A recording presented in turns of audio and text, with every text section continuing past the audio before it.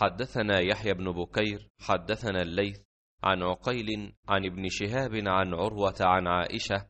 أن أبا بكر رضي الله عنه دخل عليها وعندها جاريتان في أيام منى تدففان وتضربان والنبي صلى الله عليه وسلم متغش بثوبه فانتهرهما أبو بكر